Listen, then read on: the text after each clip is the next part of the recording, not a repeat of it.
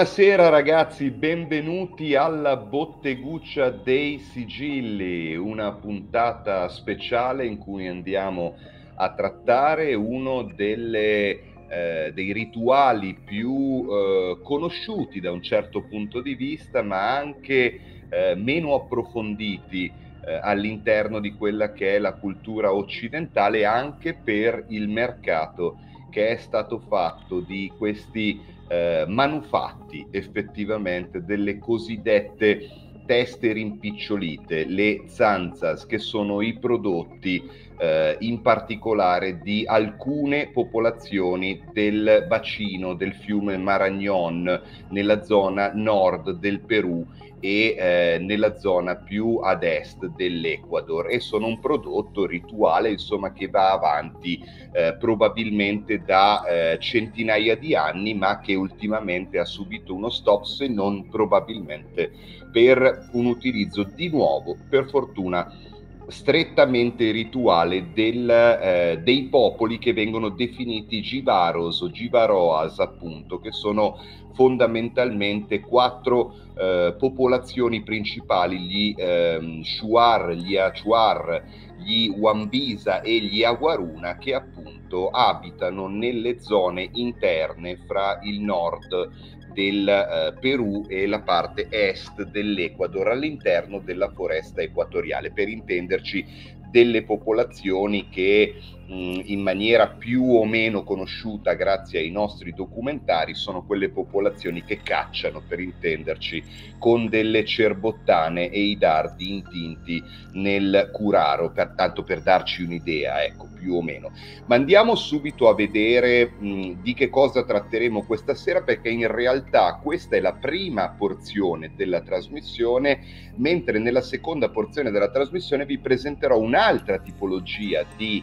eh, testa rituale preservata che però non viene sviluppata con le caratteristiche del rimpicciolimento e che ha luogo in tutt'altra parte, ovvero in Nuova Zelanda, che aveva luogo in Nuova Zelanda fra le popolazioni maori. Quello di cui stiamo parlando in particolare questa sera è eh, questo che è uno dei pochi elementi in realtà ehm, veri, eh, diciamo, autentici che si possono ritrovare delle zanzas, adesso andremo a vedere tutti i dettagli relativi alla loro creazione, al loro significato rituale, tipicamente un prodotto degli Givaros o Givaroas ed è un prodotto che probabilmente insomma, precede quello che è stato il grande commercio e lo sfruttamento anche occidentale di queste popolazioni, guarda caso, in relazione all'acquisizione di queste teste che facevano tanto diciamo, sentimento che venivano scambiate ovviamente con armi, con le popolazioni Givaros fra il 1880 e il 1930 circa, e poi ci occuperemo anche di quelle che sono le teste rituali preservate, i cosiddetti Moko Mokai, eccoli qua, che sono eh, tutt'altro in termini, come vedete, eh, di eh, dimensioni e di trattamento, ma che effettivamente si avvicinano eh, per certi aspetti a quello che è il... Um, il tipo di elemento che troviamo all'interno del rituale dei Givaros per la creazione eh, di quelle che sono le zanzas. Allora, quindi una puntata divisa in due parti in particolare perché effettivamente questi tipi di procedimenti hanno qualcosa eh, di simile ma nella realtà dei fatti sono molto differenti soprattutto dal punto di vista rituale. Innanzitutto dobbiamo dire appunto abbiamo introdotto quelle che sono le popolazioni che producono, che hanno prodotto nel corso eh, dei eh, secoli questo tipo di eh, testa eh, rimpicciolita in Sud America, che sono sostanzialmente una cultura che riconosce all'ambiente in cui vive un'anima eh, comune e diffusa, pensate, sia in tutti gli animali e in particolare in un animale estremamente eh, sacro per quelle che sono le popolazioni di Givaroas o di Givaros, che è il bradipo, assieme eh, a tutti gli oggetti apparentemente inanimati. Quindi fondamentalmente è una popolazione che riconosce una presenza di un'anima globale all'interno di quello che viene considerato il creato delle principali divinità, che saranno due, vedremo, ed entrambe non in realtà in combattimento fra di loro, perché è un po' tutta l'anima di quello che è il, il, mondo esistente a essere in combattimento e questa è la base anche della motivazione eh, della creazione insomma di queste zanzas perché vedremo che fondamentalmente lo zanzas viene creato per andare a eh, intrappolare un'anima sufficientemente forte quella che per gli Givaros viene considerata mh, fondamentalmente l'anima primaria che viene guadagnata attraverso la caccia e che viene eh, introdotta all'interno di un eh, individuo, quest'anima viene chiamata Arutam o Arutam normalmente, che viene introdotta, viene guadagnata sostanzialmente dall'individuo man mano che si fa questo scambio eh, di interazione eh, grazie alla caccia con quella che è la vita eh, attorno eh, a sé, oltre ovviamente alla possibilità di andare a combattere e uccidere eh, un ehm, elemento di una tribù eh, nemica, anche se eh, largamente quella che è la considerazione occidentale relativa all'essere selvaggi di questa tipologia di popolazioni è mh, ovviamente malinterpretata e come al solito strumentalizzata dal punto di vista occidentale per definirli a tutti gli effetti degli elementi che non possono essere integrati in società eh, è molto bello il fatto che queste persone ancora oggi, sebbene combattute dall'interesse delle multinazionali sul loro territorio, eccetera, non abbiano ovviamente alcun tipo di interesse di entrare in società e per fortuna mantengano, nonostante tutte le difficoltà, ancora oggi le proprie eh, abitudini sia eh, diciamo di vita che quelle che sono le radici culturali e spirituali. Le tipologie di eh, spiriti che possono abitare la natura in termini generali sono quello che viene definito lo wakani, praticamente una eh, sorta di anima innata a tutti gli umani che sopravviverà dopo la morte. La Rutam, come abbiamo detto, che eh, è la rappresentazione della visione, del potere, che protegge gli uomini da una morte violenta e che viene acquisita attraverso eh, la caccia o la guerra, e poi il Muisak, che è una sorta di eh, modifica, eh, se vogliamo dire, della Rutam, eh, che eh, sostanzialmente diventa uno spirito della vendetta mh, nel momento in cui una persona che sta portando al suo interno questa Rutam eh, che è stata guadagnata grazie alla caccia e agli scontri viene u- uccisa. Eh, questa specifica è importante perché fondamentalmente le zanzas, quindi la creazione di queste teste rituali rimpicciolite è fatta apposta per poter bloccare all'interno della zanza stessa, tramite il rituale della creazione e della celebrazione della testa rimpicciolita, questo tipo di muisak che altrimenti diventerebbe pericoloso per colui che l'ha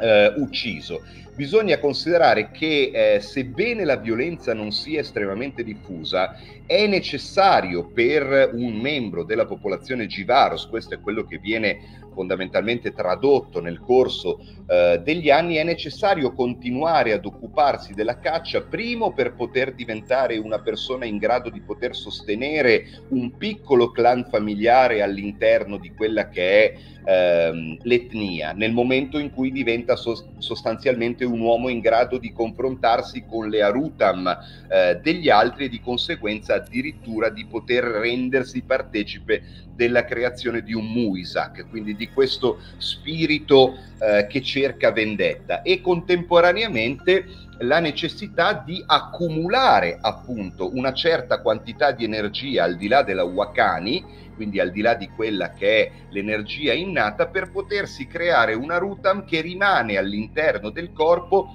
loro pensano, per 3, 4, 5 anni al massimo, prima di mettersi a vagare durante il sonno attraverso la foresta. Nel momento in cui l'indebolimento di eh, legame fra quella che è la rutam e il corpo incomincia a manifestarsi, quindi nel momento in cui questa rutam incomincia a vagare nella foresta, il, mh, mm, l'individuo del, dei Givaros è costretto fondamentalmente a procurarsene un'altra attraverso l'uccisione rituale, poi eventualmente la creazione della zanzas, nel momento in cui venga utilizzata anche per donarla al villaggio e dare potere e protezione, oppure semplicemente impiegarsi in un ciclo di caccia più abbondante per poter rinforzare e sostituire la rutam che ha all'interno. Questa eh, introduzione ve l'ho fatta, come ho detto, semplicemente perché non esiste nessun tipo di eh, motivazione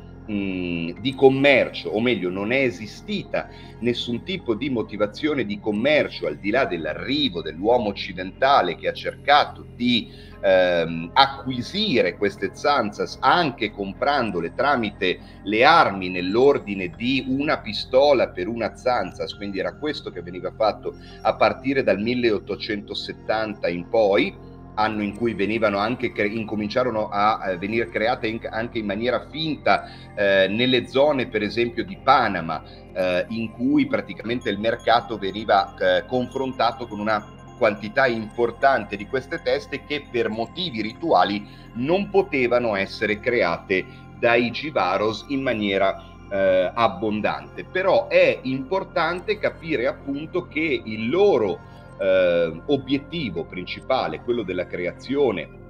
di una zanza su di una testa eh, rimpicciolita è evidentemente quello di mantenere all'interno quello spirito della vendetta e poi eh, sostanzialmente tramite un rituale di celebrazione eh, fornirlo alle donne del villaggio che lo utilizzeranno per difendere il villaggio stesso nel momento in cui esse sono dedicate principalmente alla coltivazione del terreno che è stato ripulito insomma da quella che è la vegetazione invasiva tipica della foresta eh, amazzonica che riguarda questi eh, popoli dei Givaros. Bisogna considerare, e poi andiamo a vedere qualche eh, foto in particolare, andiamo a vedere quello che è il rituale di creazione,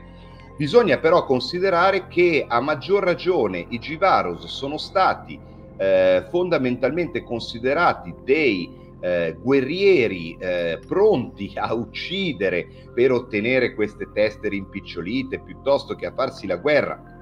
in maniera molto ma molto più abbondante rispetto a quello che effettivamente ehm, è, nel senso che eh, anche perché la caccia in generale ha dei risultati molto eh, meno efficaci in generale a causa dell'ambiente estremamente selvaggio in cui vivono, eh, la gestione della cura del villaggio e quindi di quella che è eh, la coltivazione è decisamente eh, importante rispetto ad altre culture sudamericane piuttosto che ad altre culture della Polinesia o culture maori come vedremo eh, anche dopo riguardo alle altre tipologie di test, cioè i Moko Mokai.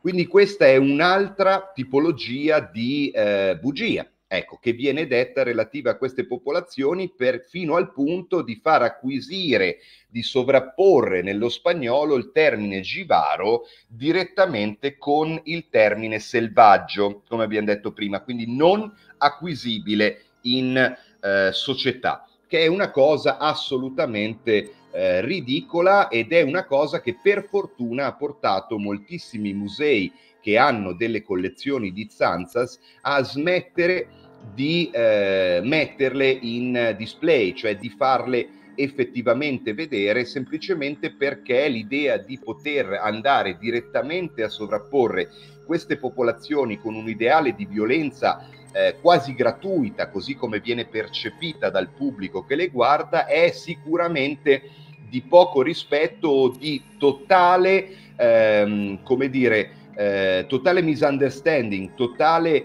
eh, contravvenzione a quella che è la, lo studio di queste eh, popolazioni. Eh, tendenzialmente le teste rimpicciolite vengono appunto in particolare dai, dai, dalle popolazioni eh, Givaroa degli Shuar, in particolare degli Achuara e degli Aguaruna, che sono principalmente tre delle popolazioni che vivono all'interno del bacino del eh, Maragnon. Al giorno d'oggi è ancora possibile vedere delle zanzas in alcuni musei come il Pitt Rivers di Oxford piuttosto che il Museo di Storia Naturale di New York, il Matter Museum a Filadelfia e la Welcome Collection in London, ma la maggior parte di queste teste sono conservate, sono state restituite e conservate in Ecuador. Eh, bisogna considerare anche eh, il fatto che queste popolazioni, questo vediamo un, un uomo degli Shuar e eh, in questo caso lo vediamo con una lancia, ma poi ci sono anche degli esempi con quella che è la eh, cerbottana tipica che viene utilizzata con dei dardi che vengono intinti fondamentalmente con il veleno che viene ricavato da alcune eh, piccole rane eh, che hanno una pelle eh, che potremmo dire trasuda eh, curaro e che viene utilizzata per uccidere gli animali e per poi cibarsene. Qui vediamo una foto d'epoca in cui vediamo effettivamente un givaro che sta eh, per cacciare di fianco ad un occidentale che lo guarda, ma una cosa estremamente importante è che la maggior parte delle teste, delle zanzas, adesso ve ne faccio vedere alcune, prima di descrivere effettivamente il rituale e la creazione, bisogna considerare che più dell'80% delle zanzas che ci sono effettivamente nei musei, piuttosto che peggio ancora in commercio, eh, nonostante il fatto che il commercio delle zanze sia vietato oramai dal 1932 in tutto il territorio statunitense e anche in Occidente, bisogna considerare che la maggior parte di queste zanzas eh, probabilmente sono false. Si stima fino all'82% di queste zanzas non hanno le caratteristiche e soprattutto sembrerebbero mettere eh, in visione, sembrerebbero aver utilizzato dei crani eh, che non hanno nulla a che fare con quelli che erano i rituali dei Jivaros effettivamente. Eh, questa testa è probabilmente una delle più famose del Museo delle Scienze Naturali di New York, anche perché eh, come vedete ha questo prognatismo evidente, questo, questo allungamento della parte boccale e nasale della testa, che era uno degli elementi tipici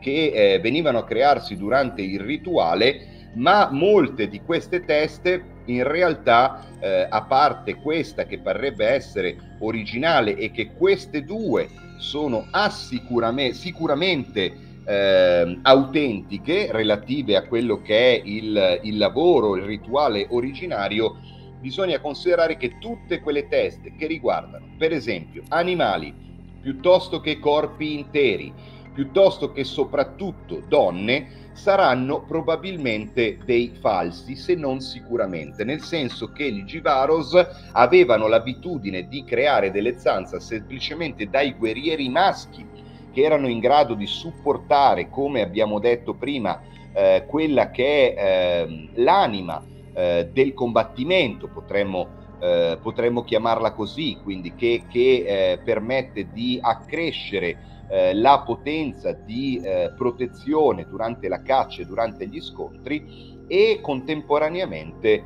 eh, quelle che eh, sono i, ehm, l'unico animale sacro che abbiamo detto prima essere un animale per loro estremamente equilibrato rispetto, potremmo dire, al karma, all'energia che c'è attorno, che è il bradipo. Tutti gli altri esemplari, e in particolare gli esemplari delle donne, che erano dedicate a curare fondamentalmente gli appezzamenti di terreno e di occuparsi della difesa spirituale eh, della popolazione grazie a quella che era eh, la ehm, devozione eh, data a eh, alcune delle divinità che in particolare andavano a proteggere eh, il, ehm, tutta, tutta la tribù praticamente stanziata in una zona, non potevano mai andare a cadere, cioè praticamente essere scelte per la creazione di questo tipo di eh, testa rimpicciolita. è è sicuramente fondamentalmente un prodotto di quello che è stato il mercato, come diciamo prima, che dal 1870 fino agli anni 20 e 30 ha riempito eh, con elementi falsi, con cadaveri rubati e trasformati appunto in zanzas addirittura eh, con tutto il corpo eh, piuttosto che elementi fatti con scimmie, piuttosto appunto che elementi fatti con facce femminili. Adesso ve ne faccio vedere una che eh, sicuramente è eh, finta eh, proprio perché eh, la donna non era considerata, anzi veniva considerata quasi una violazione, non quasi, veniva considerata una violazione a quella che è la eh, dedizione nei confronti della Nungui, cioè di quella che è la eh, divinità che protegge i campi, quindi gli appezzamenti di terreno, opposta allo Zungi, che invece è il dio dello sciamanesimo, il dio che gestisce invece tutte quelle che sono le anime sia innate all'interno degli esseri viventi, sia la Rutam, che è l'anima che si acquisisce attraverso la caccia, le donne erano dedite a Nungui ed erano quindi dedite a quello che è la cura del villaggio e non potevano essere utilizzate per creare eh, delle zanzas. Anzi, questa sarebbe stata considerata una totale violazione. Quindi tutto ciò che arriva in, quel, eh, in quei termini, che ha l'aspetto di una donna, piuttosto che eh, di un animale, eh, addirittura di un animale completo che non sia praticamente un bradipo, è sicuramente una zanza sfasulla. Dopo ve ne faccio vedere delle altre perché ovviamente anche l'arte ha fornito il suo contributo per andare a riempire il mercato di materiale che non c'entra niente con questo tipo di eh, oggetto che ha un valore rituale non soltanto estremamente denso, eh, e profondo per quello che riguarda gli Givaros, ma anche un valore rituale eh, nel tempo, limitato nel tempo, nel senso che eh, il, l'andare a inserire, eh, a eh, praticamente a mettere in cella all'interno di queste teste rimpicciolite l'anima combattente del guerriero, la ruta, eh, che diventerà un guerriero, eh, diventerà uno spirito di vendetta, può durare semplicemente per sette anni. C'è questo, eh, diciamo, questo elemento di numerologia all'interno dello, dello, della creazione rituale delle zanzas che vengono praticamente conservate in termini di rafforzamento delle difese del villaggio e in termini di ehm, di rafforzamento anche della forza vitale del villaggio che andrà poi a unirsi con quella che è la figura della Nungui in questo dualismo maschio-femmina nella natura che crea, eh, che supporta la crescita eh, dei raccolti per sette anni soltanto. Eh, quindi sostanzialmente tre anni in più di quello che normalmente la Rutam, la, ehm, l'anima, eh, rimarrebbe all'interno del corpo umano prima di mettersi a vagare per la foresta e dover essere sostituita. Finiti questi sette anni, eh, in alcuni casi la zanza, veniva, eh, la zanza veniva conservata semplicemente per valore di ricordo o eventualmente per la possibilità di uno scambio con una delle altre popolazioni di cacciatori di teste in termini di materiale per fare eh, la pace o meglio per spartirsi in maniera più che pacifica un determinato territorio che essendo estremamente limitato nella possibilità di essere ripulito per essere coltivato doveva essere, come dire, commerciato e in questo caso la zanza che aveva smesso di avere il valore rituale e spirituale cominciava ad avere un valore intrinsecamente, eh, fra virgolette, commerciale in termini di baratto, ma semplicemente all'interno eh, di queste popolazioni. Quindi al di fuori il valore commerciale veniva stabilito fondamentalmente solo in relazione a quello che era il rapporto occidentale con le popolazioni Givaros e quindi era quello di scambiare, come abbiamo detto prima, delle armi per eh, una zanza, un'arma per una zanza fondamentalmente e si sospetta oltretutto che eh, fondamentalmente sebbene esista una percentuale attorno al 17-18% delle zanzas esistenti al mondo che possano avere avuto un'origine eh, secondo quello che è il meccanismo pratico, eh, il procedimento pratico della creazione di una zanzas, il valore effettivo dal punto di vista spirituale probabilmente non è stato rispettato, nel senso che è molto difficile pensare che un membro degli Givaros, in particolare gli Aguarunas, che sono probabilmente quelli più ehm, come dire, conservatori in relazione alle proprie tradizioni, ma in generale lo sono anche giustamente tutte queste popolazioni, potessero eh, gestire la creazione fondamentalmente andando a mettergli in parallelo le due tipologie di rituale eh, spiritual magico che viene eh, praticamente mh, unito a quella che è la procedura di creazione della zanzas, cioè stiamo parlando di zanzas probabilmente vendute senza l'aggiunta di un rituale eh, spirituale e questo io lo trovo probabilmente non solo probabile ma anche giustificato.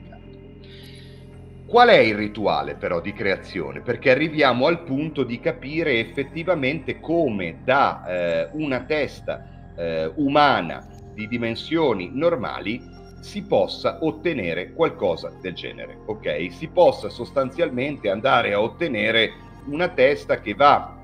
a raggiungere le dimensioni di circa un quarto e anche meno di una testa normale. Si prende fondamentalmente la testa, veniva, veniva presa la testa di un guerriero che era stato ucciso in combattimento e si incominciava innanzitutto con il produrre un taglio dietro le orecchie e anche alla base del cranio in modo tale da andare piano piano con perizia a staccare tutta quella che è la parte della pelle anche della configurazione quindi facciale del eh, guerriero dal cranio che innanzitutto era la prima cosa insieme al cervello e insieme a tutte le parti molli che veniva eh, scartata. Quindi fondamentalmente l'immagine iconografica del guerriero eh, rimaneva a eh, baluardo eh, della rappresentazione di quella che era la Rutam e di questo praticamente spirito che diventava uno spirito eh, di vendetta. A questo punto si andavano a mettere dei semi eh, rossi piuttosto che dei pezzetti di legno di palma che venivano arrossati grazie a un brodo eh, fatto con le cortecce piene di tannini all'interno delle eh, narici e la testa veniva, eh, quest- questa eh, pelle fondamentalmente veniva girata una volta in modo tale da poter andare a cucire gli occhi all'interno, in modo che gli occhi potessero essere girati all'interno rispetto al punto in cui prima c'era eh, il cranio. Contemporaneamente la testa veniva rigirata un'altra volta e veniva cucita la bocca tendenzialmente in tre punti rituali e nella maggior parte dei casi, anche se non sempre, venivano inseriti dei cunei fatti recuperati praticamente dal legno di palma all'interno di queste tre cuciture per mantenere fissata eh, la bocca per quello che sarebbe stato il rituale successivo, cioè la parte successiva della creazione di una zanza. Qui le cose si dividono in relazione a quelle che sono le popolazioni. Alcune di queste popolazioni andranno a eh, inserire all'interno della pelle del cranio una palla di legno eh, recuperata dai legni più duri eh, della foresta, mentre alcuni di loro andranno a inserire eh, delle pietre tondeggianti. Questo varia il rituale da popolazione a popolazione, ma quello che non cambia è che eh, sostanzialmente sia le eh, palle eh, di legno eh, che eh, queste pietre verranno praticamente scambiate in maniera successiva 3, 4, 5 volte durante il rituale della bollitura. Cioè verrà creato sostanzialmente un brodo eh, saturato completamente con una certa quantità di erbe e soprattutto di cortecce che contengano i tannini e quindi hanno un valore astringente e la testa verrà messa a bollire all'interno di questo brodo preparato per andare per incominciare praticamente il rituale di eh, restringimento della testa eh, stessa. Come vedete viene sempre sempre salvata quella che è la capigliatura, mentre il resto dell'eventuale eh, quantità di pelo facciale sempre molto ridotto all'interno di queste popolazioni, piuttosto che le sopracciglia, eh, che le ciglia verranno eliminate dalla testa e si inizia praticamente il procedimento di bollitura che andrà a restringere ehm, la testa stessa. Ehm, vengono quindi cambiate quelle che sono le forme interne della palla eh, di legno piuttosto che della pietra e vengono prodotte una serie di bolliture e quello che è il rituale fondamentale, quello che probabilmente non esiste all'interno delle zanzas di vendita, anche di scambio che è stato fatto con le popolazioni Givaros,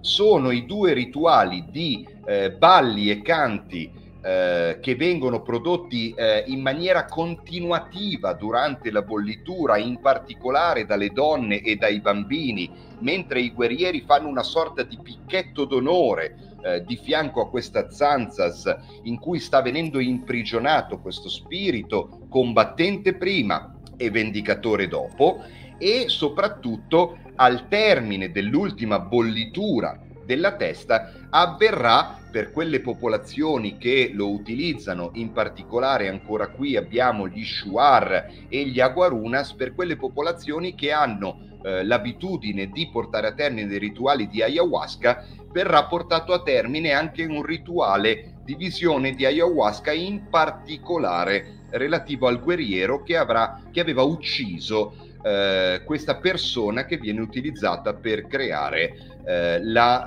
eh, zanza. A questo punto, quando la testa si è ridotta sostanzialmente ed è stata di nuovo uniformata, e questo il motivo di avere una palla o una pietra tonda all'interno del cranio è un po' il motivo per cui la maggior parte delle zanzas originali hanno effettivamente questa forma, perché la parte centrale sostanzialmente tondeggiante del cranio eh, su cui rimangono i capelli mantiene la propria forma, mentre il brodo eh, gonfio di tannini tende a restringere resta- la restante parte della faccia pro- producendo questa protunderanza, questo prognatismo eh, del volto che non viene praticamente modificato rispetto alla forma tondeggiante della eh, testa stessa. Che cosa succede? Nel momento in cui la testa si è ridotta effettivamente alla dimensione di circa un quarto, come vedete qua anche in questa eh, piccola collezione di zanzas che paiono essere originali come quelle esposte in questo museo, il Pit Museum, mm.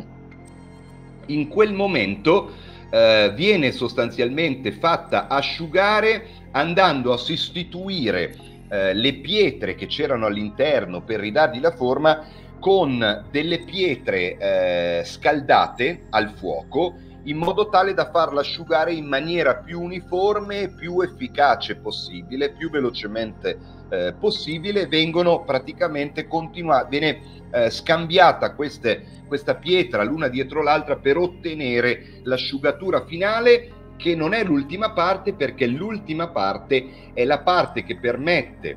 oltre eh, alla cucitura della bocca e degli occhi, a mantenere il muisak, quindi a mantenere lo spirito vendicativo all'interno della testa per sette anni, cioè vanno a prendere praticamente della cenere eh, di eh, legno eh, ritualmente bruciata mentre i balli e i canti continuano, ok? Attorno a questo punto centrale in cui viene creata la zanza e viene praticamente sfregata su tutta, tutte le porzioni visibili della pelle rimanenti della zanza. Quindi fondamentalmente la zanza eh, viene ad acquisire quel, eh, colo- quel, quel, quel colorito eh, scuro dovuto eh, principalmente al brodo di tannini, ma anche alla, ehm, alla polvere, alla cenere che viene praticamente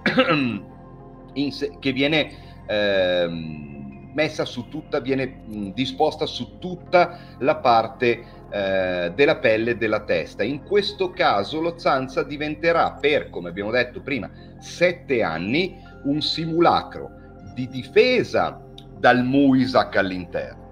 Ma il Muisac all'interno diventerà garanzia di potenza di caccia, quindi di potenziare e di potenza di difesa del villaggio stesso. Eh, tutta questa mh, è, è, ragionevole pensare che la corsa eh, all'acquisizione, eh, semplicemente in termini, mi verrebbe da dire eh, purtroppo un pochettino, un pochettino eh, circensi, ecco, da parte dell'Occidente, eh, ha, ha, senso pensare che almeno buona parte, se non tutto, di quello che è la porzione rituale e soprattutto anche del rituale della ayahuasca che va a chiudere praticamente la creazione della zanza non sia eh, stato fatto per la maggior parte delle teste che sono state poi eh, rivendute e per fortuna ultimamente devo dire restituite a quelle che sono le eh, culture Givaro che in questo momento non, eh, no, non viene chiarito se le culture Givaro continuino a fare questo tipo di rituale, benché non ci sia nessun motivo di pensare che eh, loro, eh, loro pantheon, che fondamentalmente, come abbiamo detto, è costituito da un'anima globale, costituito da un'anima innata per gli esseri umani che continua dopo la morte e dalle anime basate sulla caccia, e sulla guerra, non c'è motivo di pensare che le zanza non siano anche al giorno d'oggi fatte probabilmente con una rilevanza o con una visibilità per quello che è l'uomo occidentale eh,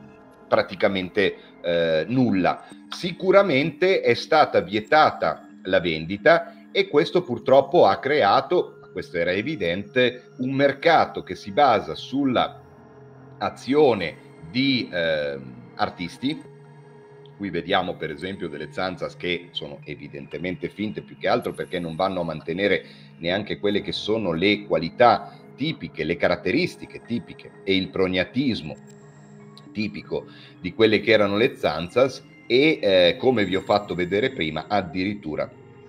una zanzas fatta andando a violare quelle che sono le regole eh, della sacralità dell'unione fra il femminino e la terra che eh, gli Givaros portano avanti probabilmente da centinaia di anni, se non da millenni, e che non c'è motivo perché eh, venga violata semplicemente per motivi eh, commerciali. Quindi eh, ovviamente la vendita è vietata e contemporaneamente anche la maggior parte delle zanzas che si vedono all'interno dei musei al giorno d'oggi, mh, mm, come abbiamo detto,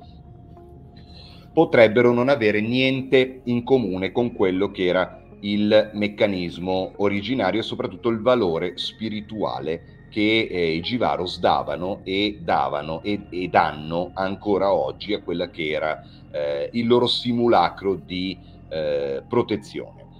Eh, questa era la parte relativa alle zanzas, quindi come avete visto un procedimento neanche troppo difficile probabilmente, però un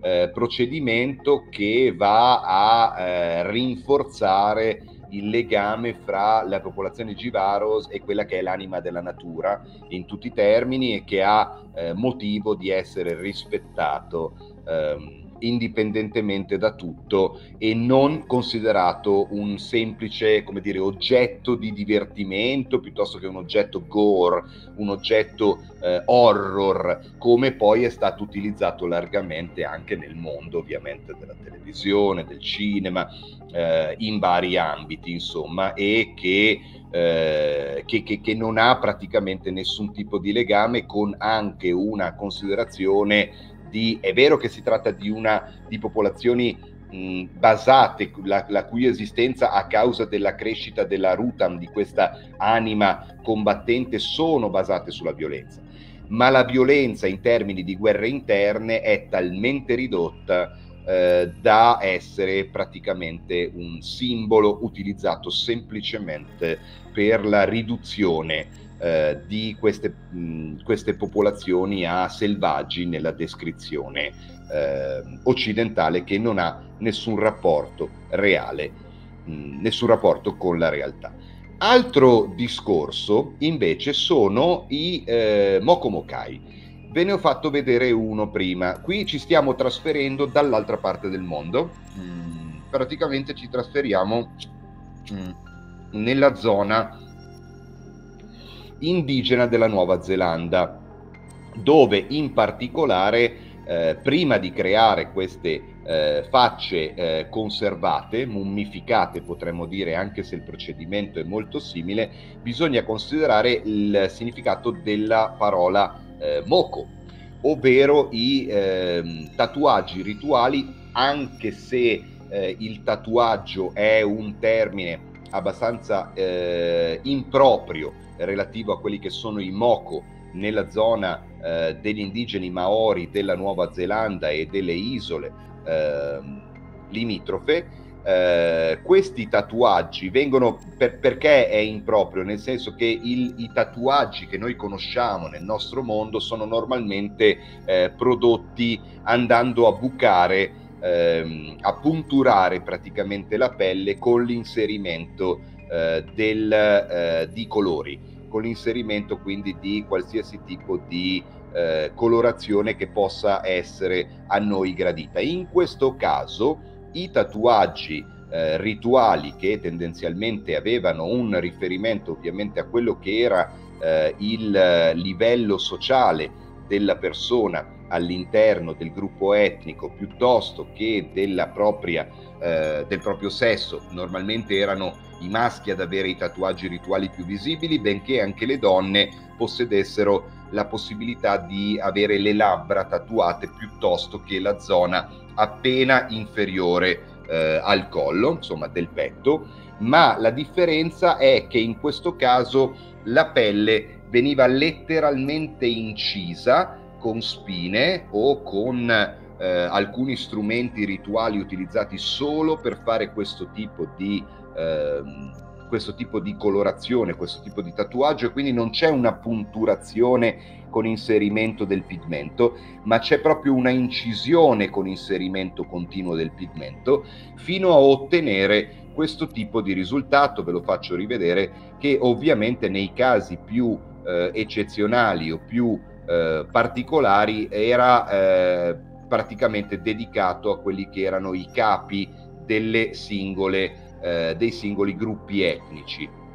e principalmente appunto eh, uomini. Il Moko Mokai che cos'è? È la, eh, praticamente la stessa tipologia eh, di, eh, cioè è molto simile al concetto delle zanza con la differenza che non viene eh, praticamente rimpicciolita. Ben, mh, siccome i, mo, i tattoo i tatuaggi Mocos praticamente servono a identificare per esempio le connessioni con il divino piuttosto che le connessioni fra l'individuo e quello che è la sua famiglia e i suoi antenati, praticamente un, si trattava di un tatuaggio unico e nel momento in cui un guerriero particolare piuttosto che eh, un eh, guerriero nemico eh, veniva, cioè o moriva o veniva ucciso in termini di scontri, venivano eventualmente conservate le teste eh, in maniera abbastanza simile a quello che accadeva con le zanzas.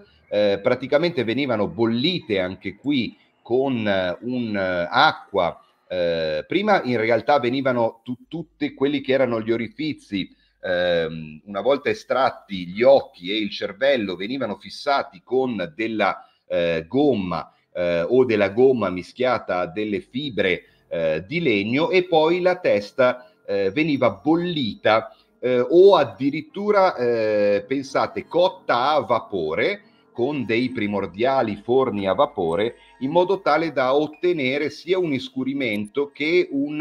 eh, indurimento della pelle stessa, ma in questo caso, eh, e questo giustifica anche la dimensione dei Mokomokai, il teschio veniva lasciato all'interno, quindi venivano eliminate fondamentalmente le parti molli che potevano deteriorarsi, cervello e occhi, ma veniva lasciato all'interno e come vedremo, adesso ve ne faccio vedere delle altre, non c'era nessuna ehm, sigillatura di quelli che erano eh, gli orifizi, la bocca e gli occhi perché non c'è un significato ovviamente in questo caso di eh, una divinità guerriera che possa venire ehm, a vendicarsi. Avevano sia un valore di eh, ricordo e di conservazione all'interno della famiglia, sia un valore di scambio in questo caso, come avviene anche per le teste, eh, per le zanzas, fra le eh, tribù eh, in guerra fra di loro. E eh, praticamente l'operazione di andare a riportare, a scambiare una testa per un'altra era un'operazione estremamente importante, addirittura una condizione necessaria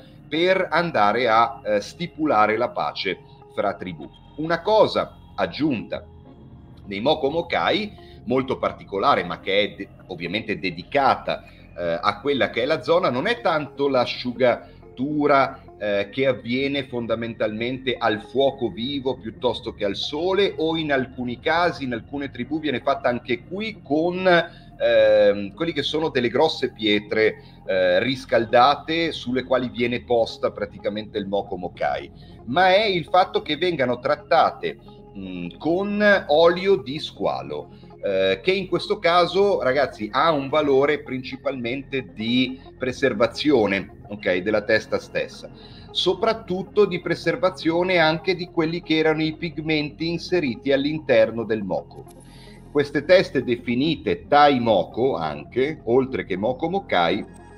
sono eh, probabilmente in quantità eh, maggiore eh, all'interno, cioè sono visibili in quantità maggiore ancora oggi al eh, Museo di Londra, eh, soprattutto perché eh, un personaggio estremamente celebre che vi faccio vedere qua, che è Orazio Gordon Robley, un personaggio eh, che eh, partecipò, un mh, mm, generale eh, un maggiore generale dell'esercito britannico che ha combattuto nelle guerre coloniali e anche nelle guerre cosiddette del moschetto, è stato uno dei principali conservatori, ehm, uno dei principali, diciamo, ehm, commercianti di eh, Moko Mokai della storia dell'uomo, la sua collezione personale sembrava arrivare fino a un massimo di 78 teste eh, che poi lui, pensate, questo simpaticone, ha cercato di rivendere allo Stato della Nuova Zelanda che eh, gli ha detto praticamente all'inizio degli anni 20 no grazie, non ci ricompriamo le teste delle persone eh, care a queste tribù che tu probabilmente hai comprato, eh, ragazzi, hai comprato in alcuni casi scambiandoli con delle mutande, ok? Delle mutande stile occidentale, in alcuni casi, per un elemento rituale così importante, ok? Come un Moko Mokai. Adesso ve ne faccio vedere altri. Sostanzialmente nuovo, la Nuova Zelanda gli ha detto no, non le vogliamo e lui le ha eh, date, le ha donate al Museo di Londra. Come vedete, eh, la, l'obiettivo fondamentale di un Moko Mokai originale è quello di preservare eh, nella maniera più fine possibile i tatuaggi che erano presenti già prima della morte. Quindi, come dal punto di vista delle zanzas, l'utilizzo di eh, esemplari diversi da un guerriero eh, andava a definire direttamente eh, la ehm, falsità del prodotto, in questo caso il Moko Mokai può essere sicuramente definito e studiato in funzione della presenza della pigmentazione leggermente a fondo nella pelle che garantisce il fatto che quel Moko, eh, quel tatuaggio rituale eh, e storico fosse già presente all'interno della pelle come pigmentazione prima della creazione del Moko Mokai. Nel caso in cui anche lì, eh, così come è avvenuto in Sud America, si è sviluppato un mercato più o meno negli stessi anni che ha presentato con più o meno le stesse entità di scambio, quindi anche lì nella guerra, nella cosiddetta guerra dei moschetti, anche lì la possibilità di andare a scambiare sia del cibo o degli elementi di cultura occidentale che potevano o non potevano interessare a queste persone ma che li incuriosivano, piuttosto che delle armi, eh, anche qui si avveniva praticamente lo scambio fra un moschetto, due moschetti e una testa rituale che evidentemente non rientrava nei piani di pacificazione fra una tribù e l'altra o semplicemente rappresentava per loro eh, poveretti un evidente buono scambio a causa di quello che sembrava essere insomma interessante nelle mani del, eh, dell'occidentale che voleva acquisire questi elementi. Eh, anche in questo caso mh, mm, la quantità di mokomokai esistenti al mondo che sono stati pitturati in seguito, è probabile che non siano stati creati originariamente con i rituali relativi alle popolazioni maori, ma che siano anche in questo caso creati eh, per il commercio. Benché il Mokomokai, gli ho dedicato un pochettino di tempo, ma non troppo, ovviamente sia molto meno eh, interessante per quello che è, sia stato molto meno interessante per quello che è il concetto, eh, diciamo, un po' gore, no? l'attenzione un po' circense che l'Occidente ha dato a questo tipo di eh, prodotti. C'è da dire per correttezza che il maggiore generale Orazio Gordon Robley è stato anche mm,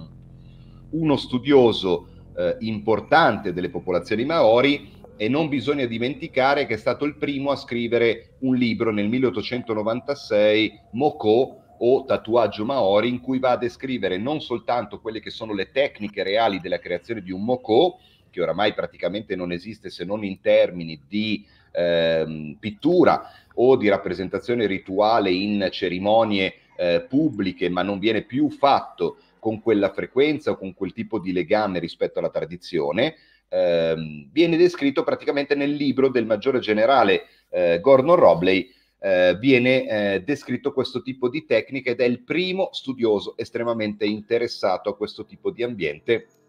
che ci ha permesso di ehm, ritrovare eh, praticamente delle informazioni relative a queste collezioni. C'è da dire che la collezione è stata poi infine rimpatriata nel 2014,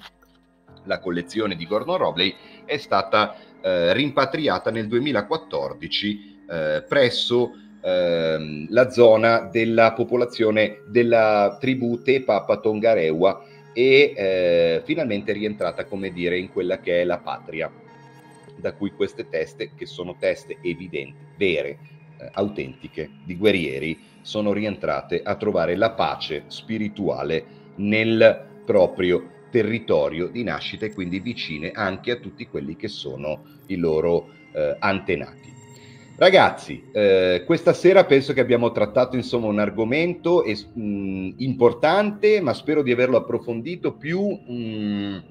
di quanto normalmente venga mostrato semplicemente dicendo, facendoci vedere quelle scene insomma di Beetlejuice, il film in cui si vede lo strego, il cacciatore eh, di Frodo con la testa rimpicciolita. Ecco, non trattare questi elementi, soprattutto con tutte quelle che sono state le descrizioni spirituali e i piccoli elementi che io vi ho dato per andare a ricercare, se vi interessa, quella che è la tradizione spirituale degli Givaros in Sud America, che è incredibilmente variegata, un animismo, insomma, veramente, veramente degno di nota, con